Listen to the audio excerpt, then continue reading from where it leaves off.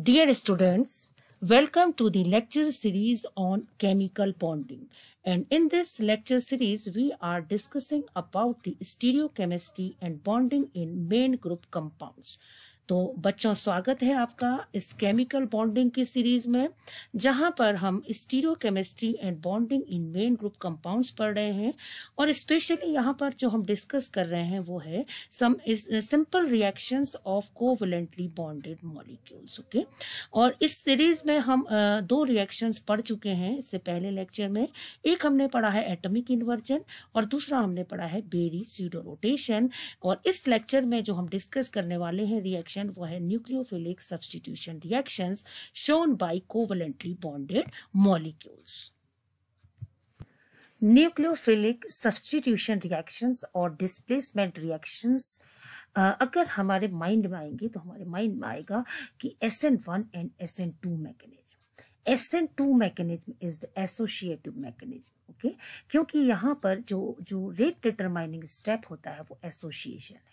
और दूसरी जो मैकेनिज्म है, वो एस एन वन मैकेनिज्म जहाँ पर रेट डिटरमाइनिंग स्टेप जो है, वो है डिसोसिएशन स्टेप इसलिए वो मैकेनिज्म क्या कहलाती है? S N one reaction mechanism यहाँ पर जो इनऑर्गेनिक मॉलिक्यूल्स में जो न्यूक्लियोफिलिक सब्सटीट्यूशन रिएक्शन होती है, वो होती है थ्रू एस एन टू और एसोशिएटिव मैकेनिज्म ओके ऐसा क्यों होता है?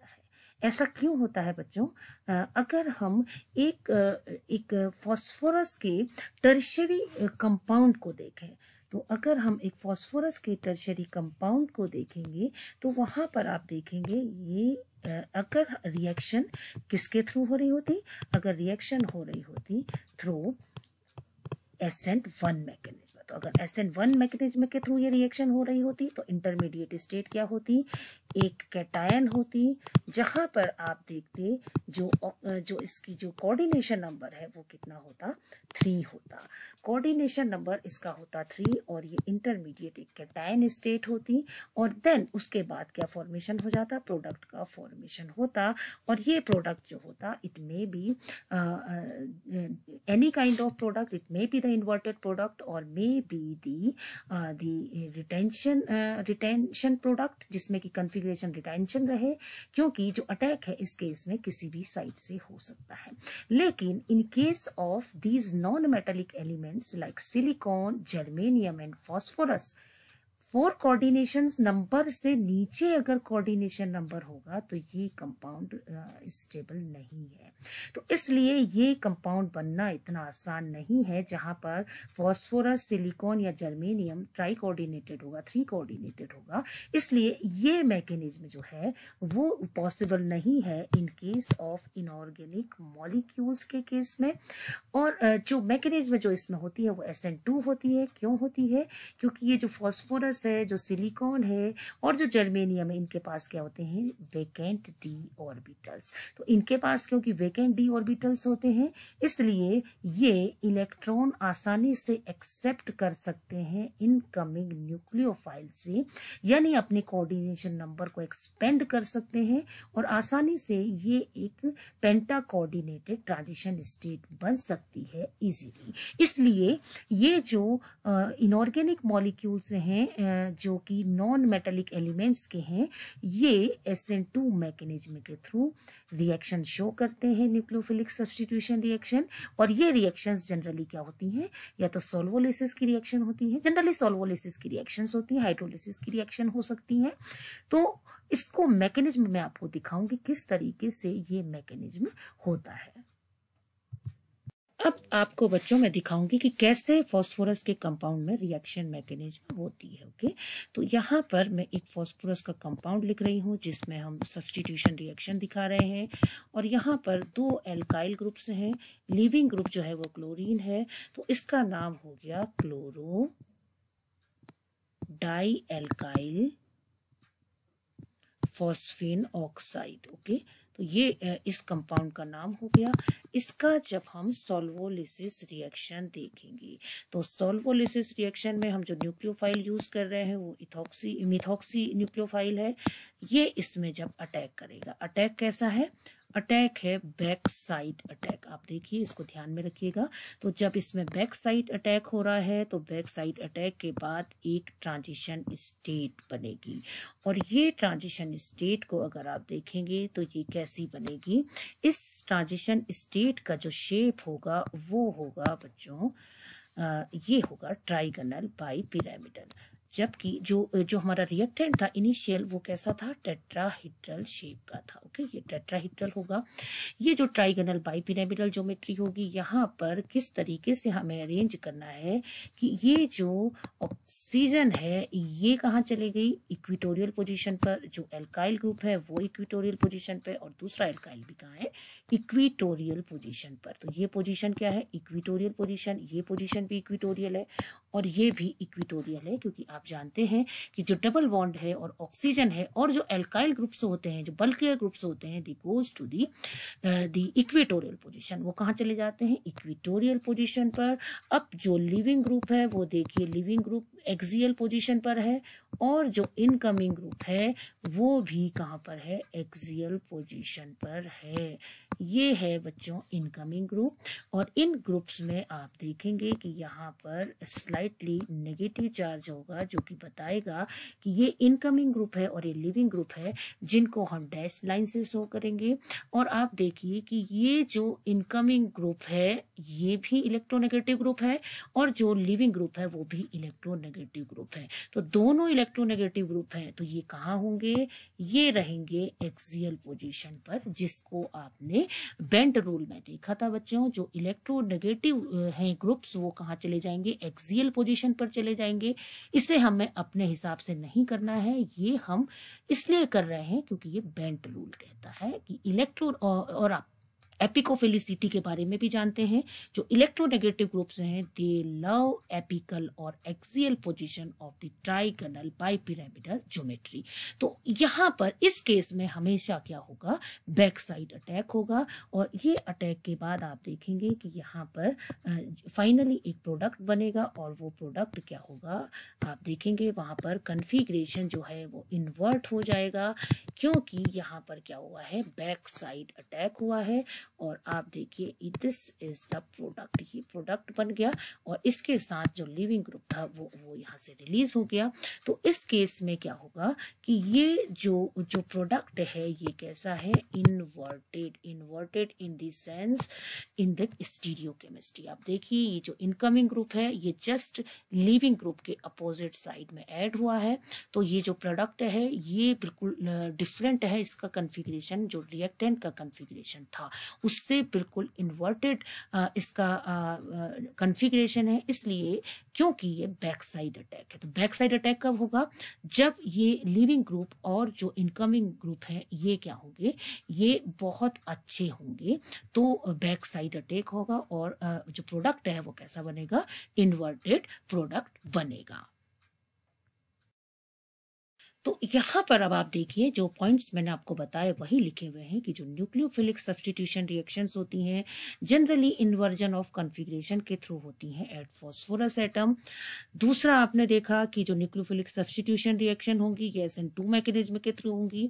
और तीसरा आपने देखा कि यहाँ पर जो अटैकिंग और लिविंग ग्रुप हैं, अगर वो हाईली इलेक्ट्रोनेगेटिव होते हैं, जिनकी एपिकोफिलिसिटी हाई होती है, क्योंकि वो इलेक्ट्रोनेगेटिव होते हैं ट्राइगनल बाइपिर पिरामिडल की एक्सियल पोजीशन पर आना चाहते हैं। तो इस केस में हमेशा क्या होगा? बैक साइड अटैक होगा और बैक साइड अटैक से जो प्रोडक्ट बनेगा वो कैसा होगा? इन्वर्टेड। उसका जो कन्फिग्रेशन क्या होगा? इन्वर्जन होगा। कन्फिग्रेशन में कब होगा? जब अटैकिंग रिएजेंट्स जो हैं और leaving group they are highly electronegative they are good nucleophile यानी अटैकिंग और न्यूक्लियो जो लिविंग ग्रुप है, वो अच्छे ग्रुप्स होंगे। लेकिन जब लिविंग ग्रुप पुअर होगा तो क्या होगा? तो अगर हम एक एक एग्ज़ाम्पल देना चाहें कि ये फॉस्फोरस का कंपाउंड है और यहाँ पर मान लीजिए जो लिविंग ग्रुप है, वो हम मान लेते हैं कि ये आर टू है। और ये आर टू कैसा है? बहुत पुअर लिविंग ग्रुप है। तो ये एक पुअर लिविंग ग्रुप है। अगर ये एक पुअर लिविंग ग्रुप होगा तो यहाँ पर क्या होगा? फ्रंट अटैक होगा। यहाँ पर क्या होगा? फ्रंट अटैक होगा। और लिविंग ग्रुप के पुअर होने पर फ्रंट अटैक होने से जो आपको जो इंटरमीडिएट स्टेट मिलेगी वो कुछ इस तरीके की होगी कि यहाँ पर जो फ्रंट अटैक है मान लीजिए कि ये जो अटैक हो रहा है ये किसका हो रहा है? एक न्यूक्लियोफाइल का हो रहा है। और ये न्यूक्लियोफाइल कहाँ से अटैक कर रहा है बच्चों? ये न्यूक्लियोफाइल अटैक कर रहा है। आ, ये फ्रंट साइड से तो ये इस साइड हमने दिखा दिया। देन आप देखेंगे कि ये जो जो लिविंग ग्रुप है, ये भी डैश लाइन से आ जाएगा यहाँ पर। This is the leaving group जो कि पुअर लिविंग ग्रुप है। ओके? तो इस तरीके से आप देखेंगे कि इनके ऊपर भी स्लाइटली नेगेटिव चार्ज आ जाएगा, लेकिन जो अटैक होगा वो क्या होगा? फ्रंट साइड अटैक होगा।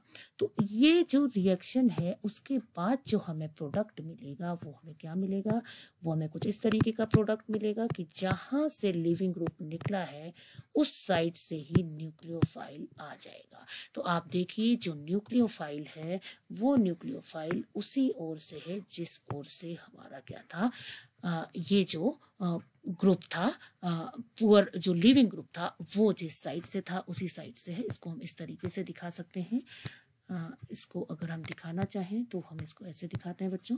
इसको हम नीचे ही लिख देते हैं जहाँ पर आर टू था।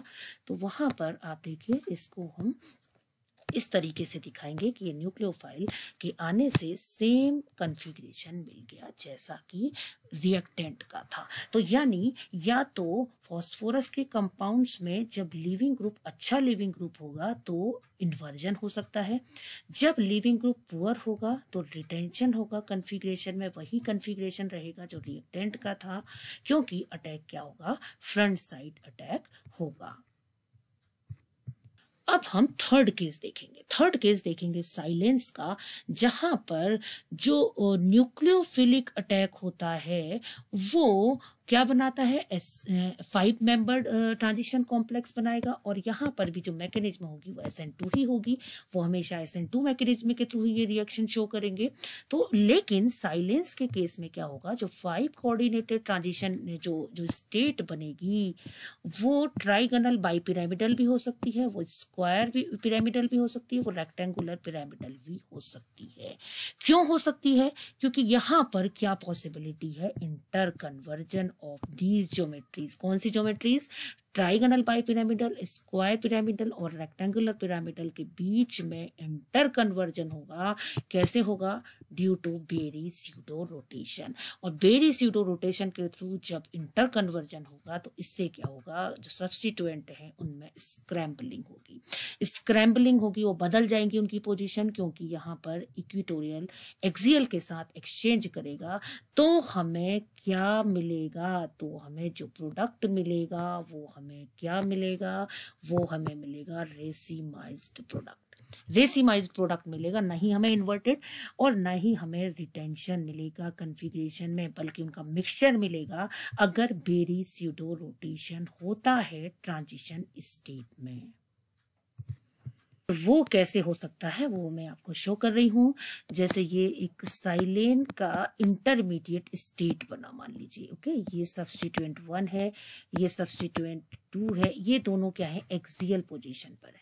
इसको हम ए लिख देते हैं, ये इसको हम ए लिख देते हैं, बच्चों। ए है axial position one and axial position two okay और अब इसमें तीन इक्विटोरियल पोजीशन होंगी equatorial one equatorial two and equatorial three तो ये क्या है? ट्रांजिशन स्टेट है साइलेन की। तो इसमें क्या हो सकता है? इसमें बेरी स्यूडो रोटेशन हो सकता है और बेरी स्यूडो रोटेशन के थ्रू जो एक, जो एक्सियल और इक्विटोरियल सब्सटीट्यूएंट हैं दे कैन एक्सचेंज वो एक्सचेंज होंगे तो हमें क्या मिलेगा? यानी ग्रुप्स का स्क्रैम्बलिंग होगा तो हमें मिलेगा, पहले हमें एक एक इंटरमीडिएट स्टेट मिलेगी और वहाँ पर हम देखेंगे, वो अगेन वो क्या हो सकती है स्क्वायर पिरामिडल हो सकती है, ये देखिए इस तरीके से। और ये ये एक और मैकेनिज्म जो बेरी सीडो रोटेशन की होती है। उसमें एक स्क्वायर पिरामिडल एक स्टेट आती है और उसके थ्रू आप देखेंगे कंप्लीट स्क्रैम्बलिंग हो जाती है ग्रुप्स की और ये जो ग्रुप्स हैं, ये फिर फर्दर एक्सियल इक्विटोरियल में आ जाता है और इक्विटोरियल एक्सियल में आ जाता है।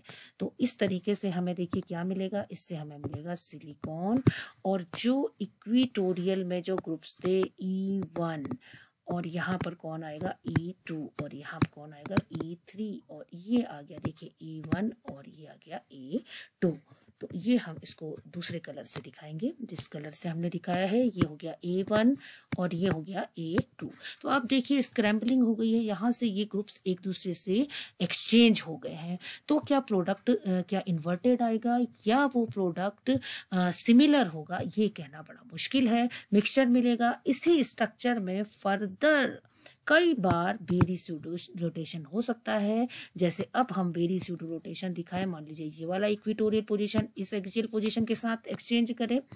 और ये जो है, वो इस एक्सियल के साथ एक्सचेंज करे।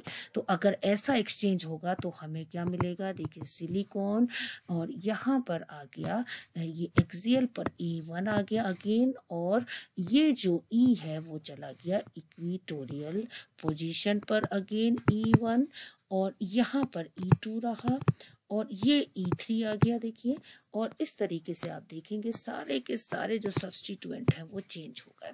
अब देखिए, ये बिल्कुल चेंज प्रोडक्ट है, ये बिल्कुल चेंज्ड है, ये बिल्कुल चेंज्ड है। तो इस तरीके से आप देखेंगे कि यहाँ पता नहीं चल पाएगा कि कौन सा हमें एग्जैक्टली कन्फिग्रेशन मिलने वाला है, क्योंकि जो जो ट्रांजिशन स्टेट है वो स्टेबलाइज हो रही है through this Berry pseudo rotation okay तो इस वजह से क्या मिलेगा? रेसिमिक मिक्सचर तो हमने क्या देखा? रेसिमिक रेसिमिक मिक्सचर तो हमने क्या देखा बच्चों? जब न्यूक्लियोफिलिक सब्सटीट्यूशन रिएक्शन हो रही है तो जब न्यूक्लियोफिलिक सब्सटीट्यूशन रिएक्शन हो रही है, इन इनऑर्गेनिक जो इनऑर्गेनिक मॉलिक्यूल्स हैं उनमें तो उनमें जो सब्सटीट्यूशन रिएक्शन होगी वो एस के थ्रू होगी। एस के थ्रू क्यों होती है? क्योंकि ये फाइव कोऑर्डिनेटेड स्टेट में रह सकते हैं थ्री कोऑर्डिनेटेड में नहीं। ओके? क्योंकि इनके पास वेकेंट डी ऑर्बिटल होता है। और जनरली ये जो इफ़ जो जो लिविंग ग्रुप है, अगर वो स्ट्रांग होगा अच्छा होगा तो और दोनों इलेक्ट्रोनेगेटिव होंगे तो फिर जो अटैक है वो बैक साइड होगा और बैक साइड अटैक अगर होगा तो प्रोडक्ट कैसा मिलेगा? इन्वर्टेड तो अगर हमें इस तरीके का सिंथेसिस करना है, जिसमें हमें एक ऐसा प्रोडक्ट चाहिए, जिसका कन्फिग्रेशन रिएक्टेंट के कन्फिग्रेशन से इन्वर्टेड हो तो हम बैक साइड अटैक को प्रिफर करेंगे। मतलब हम ये देखेंगे कि जो इनकमिंग जो ग्रुप है और जो लिविंग ग्रुप है, वो अच्छे इलेक्ट्रोनेगेटिव ग्रुप हों, जिससे कि ट्रांजिशन स्टेट ट्राइगोनल बाइपिरामिडल बने, जहाँ पर ये दोनों एक्सियल पोजीशन पर आ जाएँ, जो इलेक्ट्रोनेगेटिव ग्रुप्स हैं। और अगर हमें क्या चाहिए? सेम कॉन्फ़िगरेशन चाहिए। हम ऐसा सिंथेसिस करना चाह रहे हैं तो लिविंग ग्रुप क्या रखें? पुअर रखें, जिससे कि कैसा अटैक हो? फ्रंट साइड अटैक, और अगर फ्रंट साइड अटैक होगा तो फिर जो जो कन्फिग्रेशन है, वो सेम रहेगा, जो कि रिएक्टेंट का है। तो ये बहुत इंपॉर्टेंट रिएक्शंस हैं, क्योंकि ये रिएक्शंस हेल्पफुल हो सकती हैं ए एसिमेट्रिक इनऑर्गेनिक मॉलिक्यूल्स को सिंथेसाइज करने के लिए। ओके फिर हमने देखा कि in case of silanes racemic mixture मिलता है, क्योंकि वहाँ पर जो जो फाइव कोऑर्डिनेटेड ट्रांजिशन स्टेट होती है, वो बेरी सीडो रोटेशन के थ्रू इंटर कन्वर्ट होती रहती है, जिससे कि जो जो सब्सटीट्यूएंट हैं, वो स्क्रैम्बल होते हैं एक्सचेंज होते रहते हैं, और इसकी वजह से जो हमें मिलेगा प्रोडक्ट वो क्या होगा? रेसिमिक मिक्सचर तो इस तरीके से हमने देखा जब हम जब हम न्यूक्लियोफिलिक सब्सटीट्यूशन रिएक्शन को को देख रहे हैं इनऑर्गेनिक मॉलिक्यूल्स के तो उस केस में हम ये देख रहे हैं कि तीन तरीके के प्रोडक्ट मिल सकते हैं। एक हमें मिल सकते हैं कंप्लीटली इन्वर्टेड एक हमें मिल सकते हैं रिटेंशन कन्फिग्रेशन वाले प्रोडक्ट और एक हमें मिल सकता है रेसिमिक मिक्सचर तो जैसी डिमांड होगी, उसी तरीके का प्रोडक्ट हम बना सकते हैं कंडीशंस को चेंज करके। तो इस तरीके से आप देखिए कि कितना सब्सटीट्यूशन रिएक्शन का रोल है कि हम अगर एसिमेट्रिक कंपाउंड कंपाउंड बनाना चाहें तो हमें किस तरीके की रिएक्टेंट को लेना है और किस तरीके का न्यूक्लियोफाइल लेना है, उस पर बेस्ड हम अपनी रिएक्शन को डिज़ाइन कर सकते हैं okay so this is all about nucleophilic substitution reactions in covalently bonded molecules and in the next lecture we will discuss about the free radical mechanism in covalently bonded molecules तो next lecture में हम covalently bonded molecules में जो देखेंगे free radical mechanism में कैसे होती है? Okay so thank you very much